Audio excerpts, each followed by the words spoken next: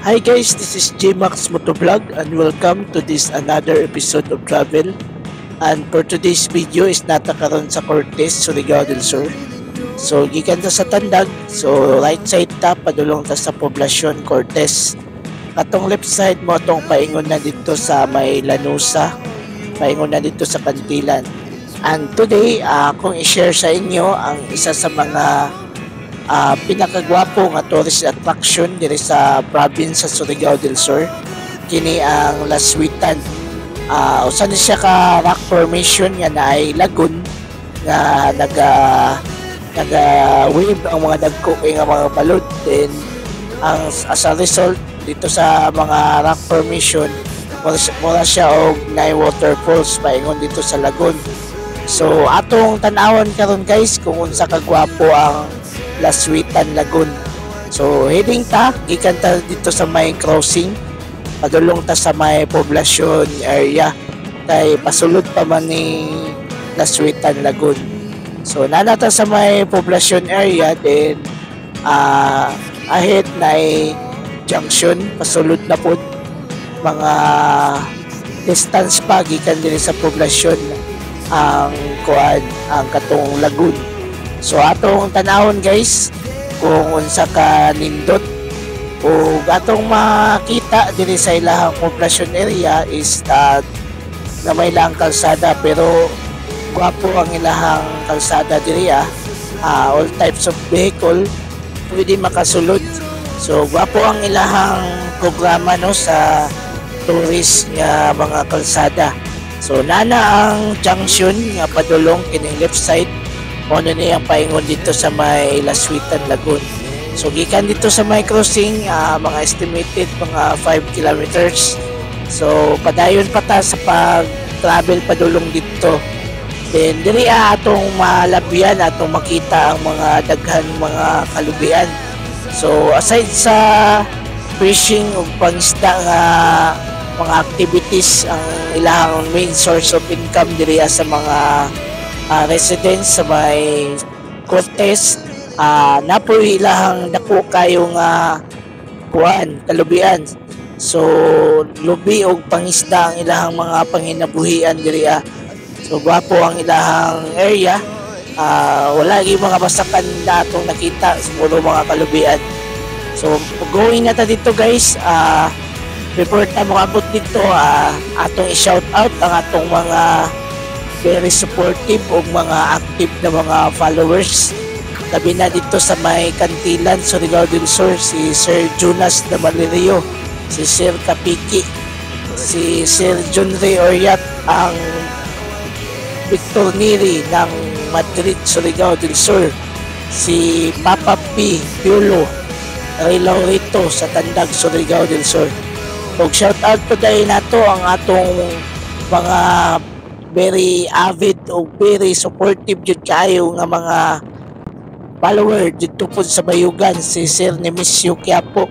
Shout out sa inyo Sir Nemisyo kang Manunoy TV o kang Sir GC Retisa Baruto kay Pungguy na Upaw Vlog o kang Sarijan Baskis Butal ang uncle dyan ng Bayugan. Shout out sa inyo mga sir. Og si og dili na to kalimtan si Sir Kibali ang Mr. Kibali ng Bayugan. Puro mga vlogger ng mga kauban nato sa Bayugan. Shout out sa inyo ha mga sir. O atong padayon guys ang ato ang pag-travel padulong dito sa may Laswitan Lagoon. So daghan patag malabyan ng mga barangay dahil guys pagpadulong dito. So makalabay pa tao mga resort. Na po na po mga resort diri nga atong malabyan so dugay na ta sige labay-labay diri sa Fortes Surigao del Sur. O first time na to noon makasulod diri ah. First time na to makaanhi. So dugay na ta labay-labay. Karon pa nato na igayunan og anhi kay kuan busy punta sa trabaho ug sa ato ang pagpaningkamot so karon na yun tayo higayon nga makasulod diri ah. Uh, hopefully nakaka experience na to ang last week but Ah, unfortunately murag gamay ra siguro ila sweet karon kay ah, padulong na summer. So padayon ta guys og nana ta.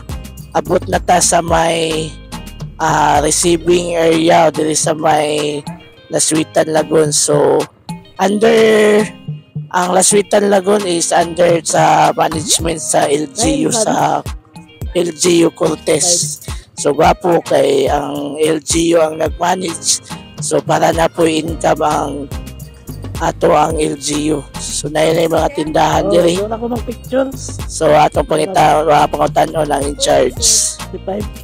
Ito na lang, 50. So 85 ang kuan, 85 ang ang entrance.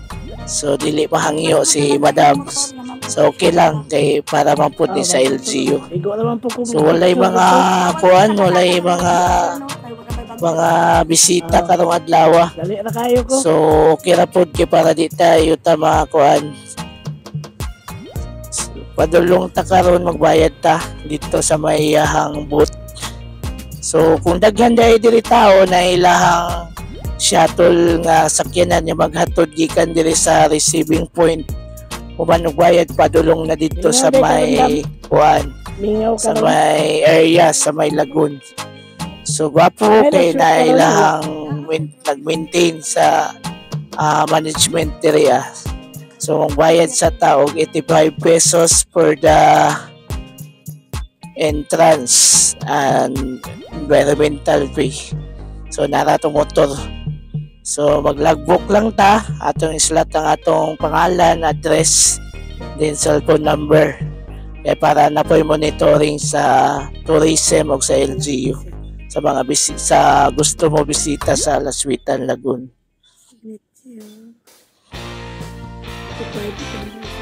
Diba?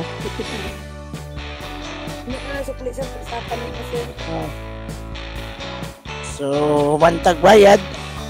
Ah, ato ta. Larga ta padulong dito sa sulod. ah, Kung daghan ng mga tao na ilahang giandam nga shuttle nga sakyanan nga mag kuan maghatod diri gikan sa receiving paingon dito sa ah, area na jud. So karon wala kay tao. So murag mingaw. Pag ako lang siguro bisita diri karon sa kuan. But anyway, ang purpose lang nato is atong ma-share sa atong mga nagatanaw sa video karon atong mga followers kung unsa ang condition sa dalan o ang mismo ang Laswitan Lagoon atong ma-share sa katong mga wala pa nakaanhi o na plano nga moanhi. So best nga moanhi jud diri ah, sa Laswitan Lagoon is kanang kuan kanang ting ulan na bitaw sa ato nga gikan sa mga October, November, December, January na. So ting balod man na siya?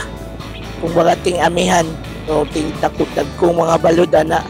Pero karon mga March na wala na kay padulong na summer wala na kay last week. So gwapo kay ang entrance so kinagan bulak so naraw gwapo sa dagat Diablo Blue wa dyan naga-parking dyan dahil dire. So, dire parking lang ta dire. At mo ingon ni Madam dire sa may tapit sa CL Road na tumang park.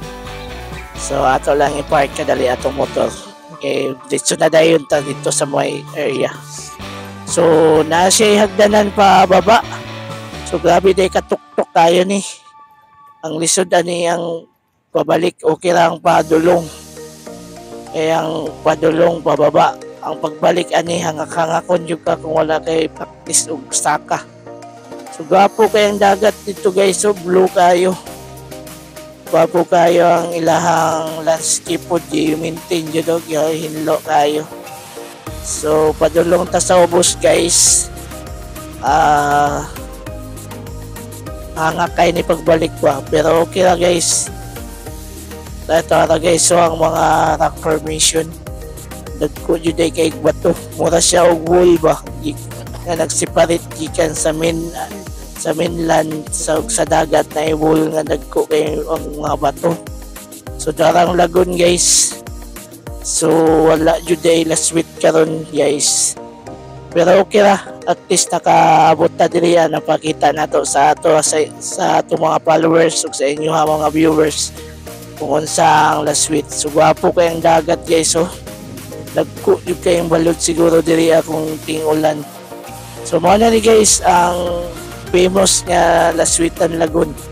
So naghapak ada sa balod ang tubig padulong diri sa lagoon so mo siya waterfalls pero kadto guys so katong nagawas gamay. So karon wala lang kayo. So gwapo kay nay kuan sa sa LGU jud ginabantayan. So gwapo jud kay diri guys kung ting amihan. Ingon pa sa ako na istorya nga caretaker dito ang ang balod mo abot ang sa libo sa balod mo abot diri sa may mga cottage. O kapo ano yan sila mga cottage area. So dito sa unahan ah, dito ang balod pa. So ingon sa caretaker ginabawalan niya magsakasaka sila sa mga bato kay kay ni, ni panahon sa tingamihan o delikado po basing makuan ka mabundak ka diha o ang likod po dato gabi kalalo mo kusog kayo ang current sa balod so ginabawalan sila. So gwapo dahil diri sa Laswitan Lagoon guys. O mura siya o pool mo siya swimming pool na dagat. Kay ang iyahang tubig mosulod sa lagoon. So gwapo kay guys So, diri na lang ko guys. Ako, ah, I hope nga nakahatag ko sa inyo og idea og information about sa Laswitan. So, this is Gmax Motovlog. Thank you and God bless us all.